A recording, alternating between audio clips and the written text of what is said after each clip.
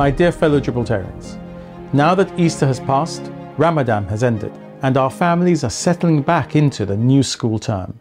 This is an important week for our nation for two main reasons. The first is the start of the inquiry, at last, into the early retirement of the former Commissioner Ian McGrail. The second, but more important matter, relates to the progress being made in the treaty negotiations with the European Union. I will address both of these in turn. Firstly, I convened the McGrail inquiry and have been determined that it should take place. And despite my heavy workload, I have provided documents and statements as required by the chairman. I will continue to do so and will fully cooperate with the inquiry. I will be giving evidence before the inquiry. And I know that you will all have been pleased to hear the chairman of the inquiry, Sir Peter Openshaw, has independently, explicitly confirmed that the restriction notice issued on national security and public interest grounds is directed at only a relatively few documents among the many thousands of documents which have been disclosed to the inquiry. The chairman has also said that he is confident that the inquiry can properly proceed and that he can do the job that he has been tasked with doing. That alone shows that Keith Azopardi has been wrong to say that the powers in the new Inquiries Act would be used in a manner that would have affected the work of the inquiry. And moreover, when I've invited Mr. Azopardi in for a confidential briefing on why we needed to make the restriction notice, he has not agreed to meet.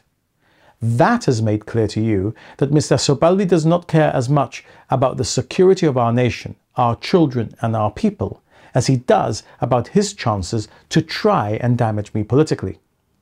Mr. Azopardi has all of his priorities wrong.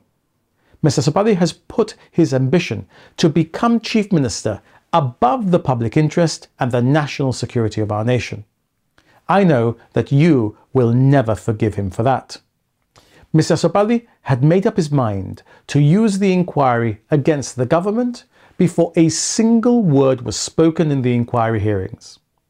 Well, by now, you've heard the independent counsel to the inquiry go through the facts, listing the evidence before it, and the list of issues the inquiry will consider in the coming weeks.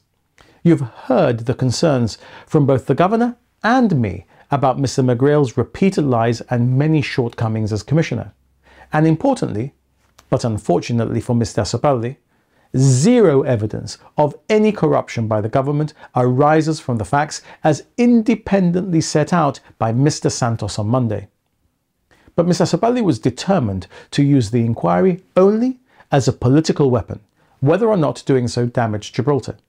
He has preferred to trash our nation's reputation rather than listen to the concerns of your democratically elected government about our nation's security and nation's public interest. By doing that, I have no doubt that Mr. Azopardi has effectively disqualified himself forever in your eyes from the privilege of leading our people. Additionally, Mr. Azopardi has sought an appointment to persuade a governor that a bill properly passed by the Gibraltar Parliament should be denied royal assent, just as Mr. McGrail's lawyers have also done with the Foreign Secretary. That was an attempt to seek direct rule from London, a betrayal of our democracy, a betrayal of the work of all chief ministers from Sir Joshua Hassan to Sir Peter Caruana before me, a betrayal of every single Gibraltarian.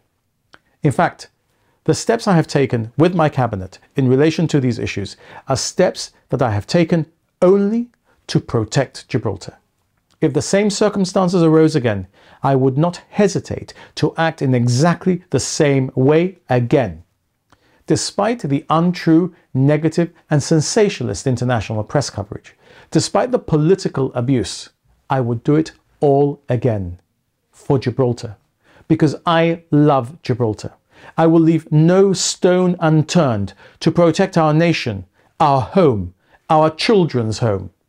And that principally means continuing to work to secure the treaty between the UK and the EU.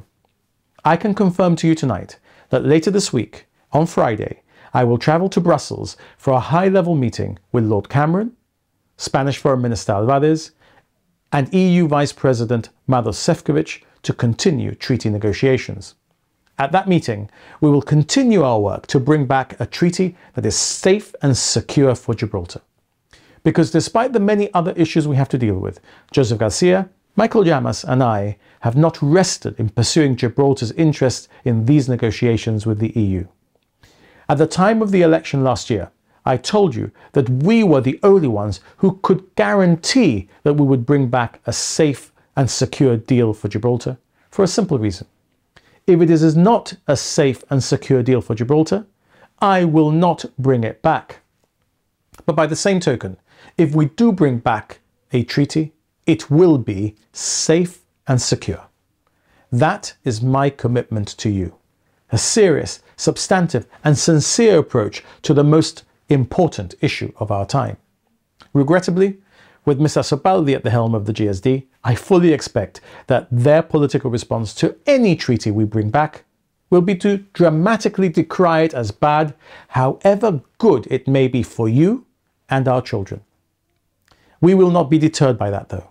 We will continue to work to deliver a safe and secure treaty, to secure our nation's future, to secure our children's future, to secure the best interest of every one of the people of Gibraltar for generations to come. That is what you expect from your nation's leaders, and that is what we will deliver. Thank you for listening, and good night.